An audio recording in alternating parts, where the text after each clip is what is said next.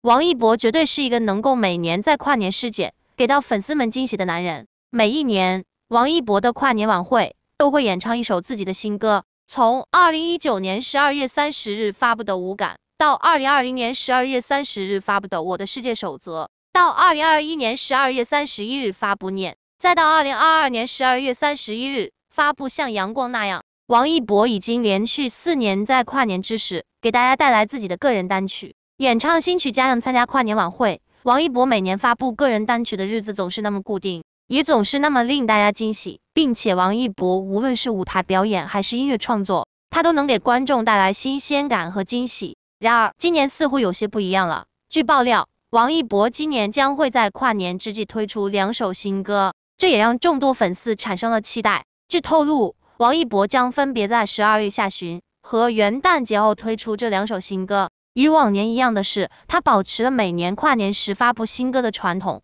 但不一样的是，这一次的王一博似乎还给粉丝带来了额外的惊喜。据了解，其中一首新歌将呈现摇滚曲风，这也是王一博首次尝试这一音乐风格。摇滚音乐以其激情四溢、动感十足的特点，深受年轻人的喜爱。王一博通过这首曲子。将向观众展示他音乐上的多元化和突破性。另一首新歌则选用抒情曲风，这是王一博一直以来擅长的风格。抒情曲风以其质朴、柔情和深情的表达方式，触动着人们的心灵深处。王一博借助这首曲子，将会展现出他温柔细腻的音乐感受力和独特的情感表达。对于这两首新歌的发布，粉丝们纷纷表示期待和兴奋，因为王一博的歌曲。往往能带给人们不同寻常的感受和意义，每一次发布都引起了广泛的讨论和热议。相信这次的双喜临门，也将再次让人们见识到王一博的音乐才华和创作魅力。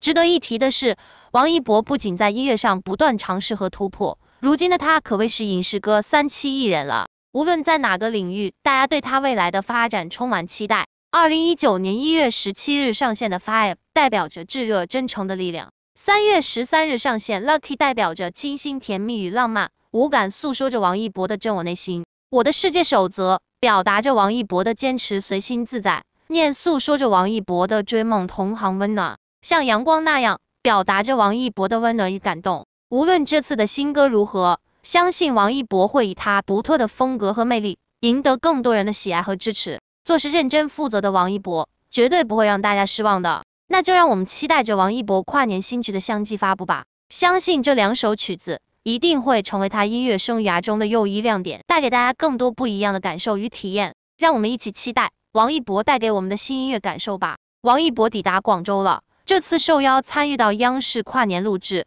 我们还是很期待的。这个跨年可谓是精彩纷呈，多个平台都可以看到不一样的王一博。都知道这次王一博回归湖南卫视跨年。可是不妨碍央视的跨年邀约，各位小伙伴可以两个台轮换着看了。听闻这次湖南卫视跨年全程都在跨年街，能够去现场的小摩托们有福了。哎呀，小肥腰听到这个消息，羡慕不已。能够去现场，整个晚上都可以看到王一博，这破天的快乐谁能懂？能否给了摄像机直接对着我们的波波？我会整晚不换台的。好了，这次王一博飞往广州参与跨年节目的提前录制，具体是什么节目？目前不得而知，不过王一博出发的一身穿搭还是很显眼的。要知道这几天的北京可是大雪包裹，我们北方都在雪中度过，开心到飞起。王一博出发前，羽绒服加针织帽包裹的挺严实，一看孩子就懂得保暖。各位妈妈粉们很欣慰。不过到了广州，那就不同了，不是广州不尊重冬天，而是条件不允许，四季如夏。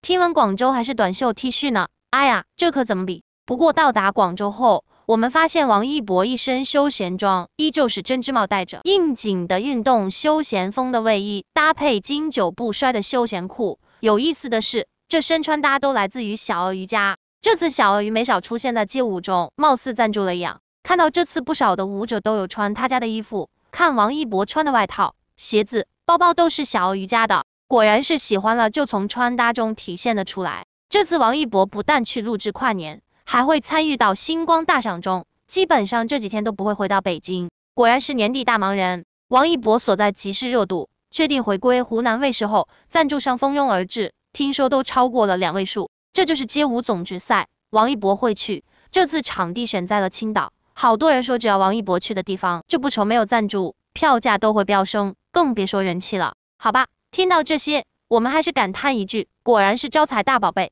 怎么可以这么有人气？没办法，王一博可不是清闲自在的，这些年一路走来，无论是作品还是出圈带火的小众运动，都受到了不少人的赞许和认可。我是小肥要吹捧王一博从不来虚的，这一年是王一博大丰收的一年，年底如此忙碌。开心的可是我们呢，每天都有这么讯息来，各种的骄傲，哎呀，夸不完，根本夸不完。王一博这一年转型电影圈，交出了一份让人满意的答卷，三部影片的上映，赢下了口碑、票房、奖项还有人气。可是王一博却并没有停留，而是继续多期发展。年初，王一博拍摄的《长风破浪》或将上线央视，开年即将上映，并且很多人都看到了央视放出的片单中。就有王一博的这部剧，所以很多人都在猜测，是不是这次可以上新了呢？具体会不会上新，我们不得而知。可是我们知道一点的是，王一博的《冰与火》已经二度上新，之前的江苏卫视没想到会赢下了收视率，还带飞了赞助，泼天的富贵让江苏喜出望外。更没有想到的是，山东卫视这次也来了。十三日开播后，很多人说收视飙升的同时，没想到赞助更是多达了三十分钟才播完。一度以为就播出了一集，其实因为赞助太多而已。好吧，果然是王一博，这部剧上映可谓是一波三折。去年在网上播出后，很多人都意难平，这么好看的作品应该在电视上播放，谁也想不到好事在后面，真的挺欣慰。很欣赏王一博的地方就是他不局限在一个地方，很多人以为他会专注于电影圈发展的时候，他却又转到电视剧上，从来都不会在一处停留，而是多期发展。喜欢了就去做。如今的王一博显然已经飞升到了另外一个领域。都知道从爱豆到演员的蜕变会带着很多的争议声，可是，在王一博这里，他认定的是总会付诸于行动，用作品说话，强过一切。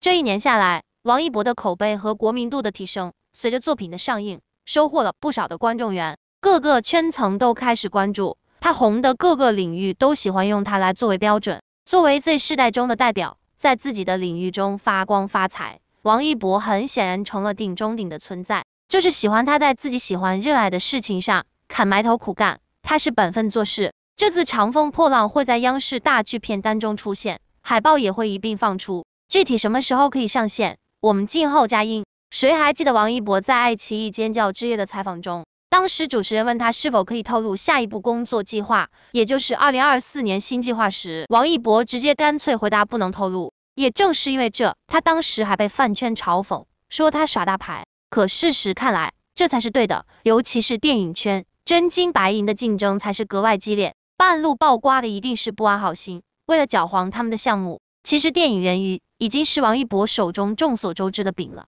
并且这部作品都不一定就已经拍到什么程度了。可依旧有人造谣王一博没进组呢，说不定他什么时候就直接杀青了。可王一博的嘴就是很严，什么都不说。要知道，在乌镇戏剧节开始时，黄磊就直接透露了程耳导演已经在拍戏才晚到的事实。何至于都十二月份了，人鱼还没动静呢？要知道，当年电影《无名》海报还没发出来时，谁都不知道王一博演的究竟是什么角色，有多少戏份，只知道进组了程耳导演的剧组。可那时候粉丝们就已经知足了。哪怕是个小角色，但能够进了只爱用科班生和影帝影后的程耳导演剧组中，也足够让粉丝们高兴了。可无名未杀青之前，王一博被造谣足不出户，在家抠脚四个月，与现在的王一博处境何其相像。然而无名中，王一博成了程耳导演作品中的男二，这一次王一博成了程耳导演作品中的男主。仔细想想，如果王一博一开始就宣告所有人进组了无名。